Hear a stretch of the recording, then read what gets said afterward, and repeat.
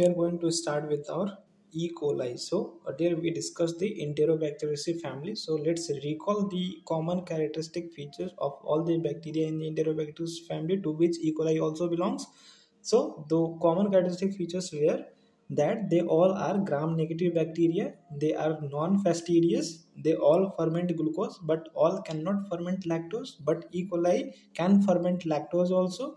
Then all of them were catalase positive except the Shigella dysentery serotype 1 and then all of them were oxidase negative so all this characteristic feature fits in E. coli as well so we are going to starting uh, we are going to start the E. coli here so first let's talk about the virulence factors of the E. coli so that can be classified on in two parts that is the surface antigens and the toxins okay the surface antigens and the toxins so the surface antigens includes the O antigen first of all. So O antigen, if we remember, then E. coli is a gram-negative bacilli. Okay, so gram-negative bacilli have a lipopolysaccharide portion in their cell wall. So that lipopolysaccharide portion has a component O. That O polysaccharide component acts as the O antigen for the all the gram-negative bacteria. So here also the O antigen is a component of the lipopolysaccharide okay portion of the bacterial gram-negative bacterial cell wall. There, there used to be a lipid A, P, and then O. So O is that part of the lipopolysaccharide portion of the bacterial cell wall of the E. coli. Okay, so that's all about the O antigen. Then H antigen. H antigen is nothing but the flagellar antigen. H for flagella. H for flagella. Okay, so H antigen is the flagellar antigen.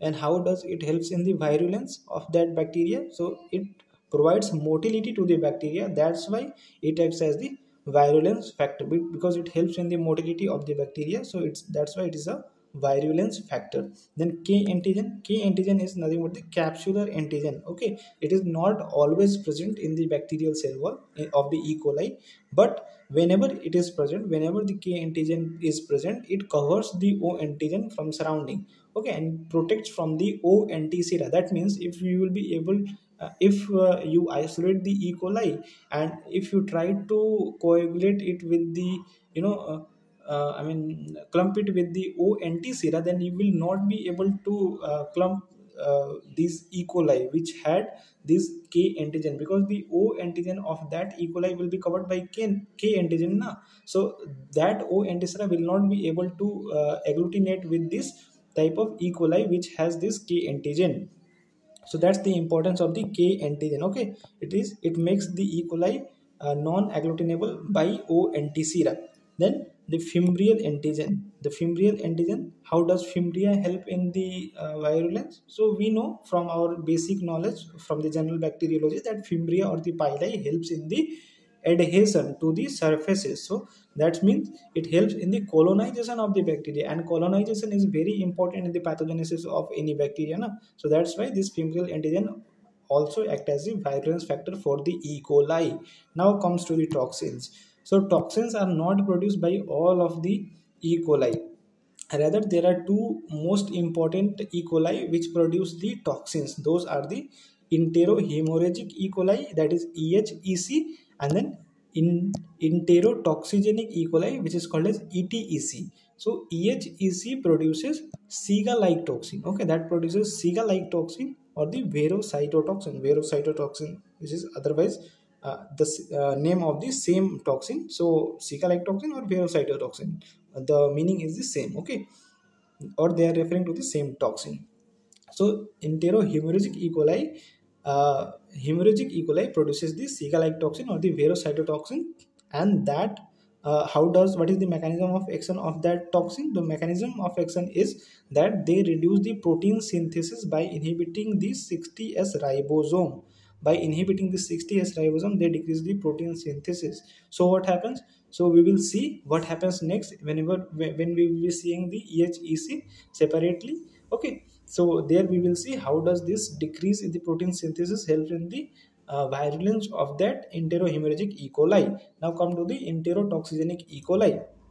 So enterotoxigenic E. coli produces two types of toxins. By T, we we see that it is ETEC. ETEC.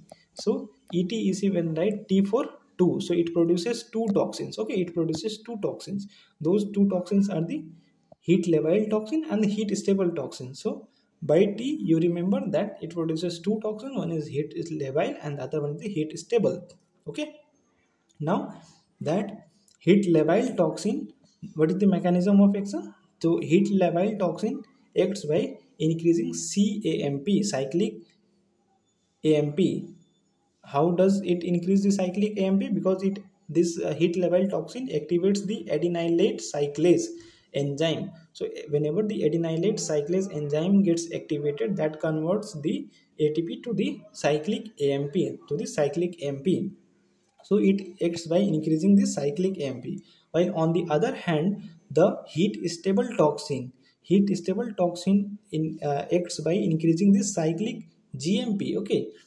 How does it increases the cyclic GMP so it increases cyclic GMP by activating the guanylate cyclase. So whenever the guanylate cyclase is uh, activated there is increased production of the CGMP okay? CGMP but at the exam time we will you will get confused and will not be able to remember the mechanism of action of these two toxins. So how are we going to remember this uh, you know mechanism of action? So whenever you are writing st okay whenever you are writing st then just uh, turn it slightly. Turn this s slightly and it becomes g like this.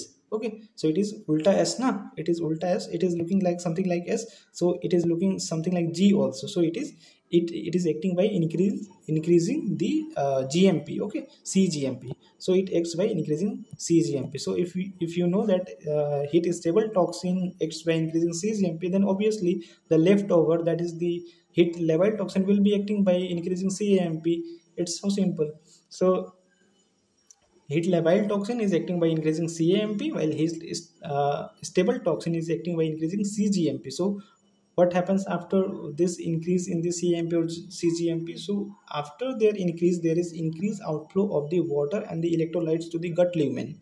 And whenever there is increased electrolyte and the fluid into the gut lumen, that is going to cause the diarrhea. So this is the pathogenesis of the heat stable and the heat labile toxin of the entero uh, enterotoxigenic E. coli, enterotoxigenic E. coli. Okay, we will see the pathogenesis of this Siga-like toxin when we will be dis discussing the enterohemorrhagic E. coli. Now let's talk about the infections which are caused by E. coli. So the infections which are caused by E. coli are the urinary tract infection first of all which is caused by the uropathogenic E. coli. The uropathogenic E. coli UPEC UPEC this is uropathogenic E. coli which causes this urinary tract infection and max I mean almost uh, you know 70 to 80 percent cases of UTI are caused by E. coli only okay so that is a very big number so uh, about 70 to 80 percent caused by E. coli those are called as the UPEC that is uropathogenic E. coli now diarrhea so diarrhea is caused by many E. coli and they are there are several pathotypes of the E. coli which cause the diarrhea.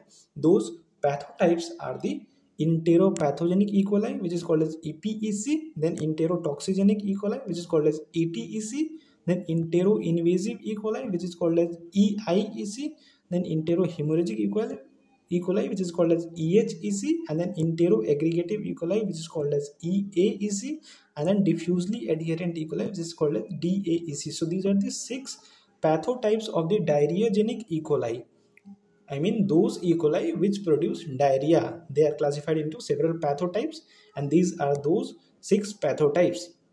Okay, out of them the important ones are the enterotoxigenic E. coli which causes the traveler's diarrhea okay so enterotoxigenic E. coli causes the traveler's diarrhea how are we going to remember T4 entero I mean see here it is ETEC so toxigenic ET enterotoxigenic T4 toxigenic T4 travelers so toxigenic E. coli is causing traveler's diarrhea is causing the traveler's diarrhea then the second important is the EIEC that is the entero-invasive E. coli, the entero-invasive E. coli. So whenever there is uh, this word comes that is invasive, so invasive means it is going to cause some bleeding. Whenever there is invasion of something, there occurs bleeding. So that means if the if this e. coli is going to invade the gut uh, wall then it will be causing some bleeding. That means there will be there will not only be diarrhea rather there will be bloody diarrhea that will be called as the dysentery.